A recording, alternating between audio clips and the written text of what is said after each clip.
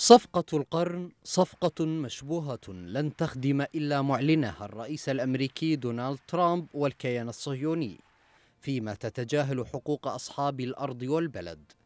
الصفقة التي أعلنتها الإدارة الأمريكية لم تكتفي بإعلان القدس عاصمة غير مجزأة للكيان الصهيوني بل منحت أراضي فلسطينية جديدة للكيان الصهيوني وصادرت ملف حق العودة للشعب الفلسطيني فيما منحت الفلسطينيين مدنا متفرقة بعضها مربوط بأنفاق وجسور يمكن للسلطات الصهيونية السيطرة عليها وقطعها في أي وقت شاءت. خطة السلام الأمريكية كما يسميها مروجوها وداعموها تستولي على الأراضي الفلسطينية ما يعني أنها لا تبحث عن السلام في المنطقة كما ادعت بقدر ما هو بناء على سياسة الأمر الواقع التي يتم تنفيذها بتناسق غير قابل للتغيير على ظهور الفلسطينيين وفي أراضيهم.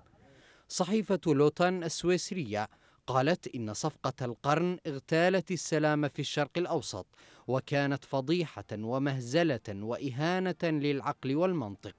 فيما تناست دور السلطة الفلسطينية وستخضع في حال تطبيقها الشعب الفلسطيني وتنتهك حقوقه.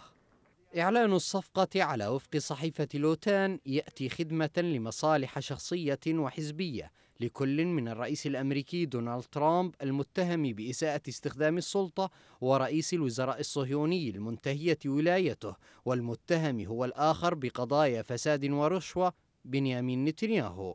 فهي إذا تمثل تبادلا للمكاسب بين الطرفين حيث تهدد الأول إجراءات العزل أما الثاني يطارده القضاء في كيانه. كل خطوة يتخذها ترامب لصالح الكيان الصهيوني يعدها رصيدا لحملته الانتخابية.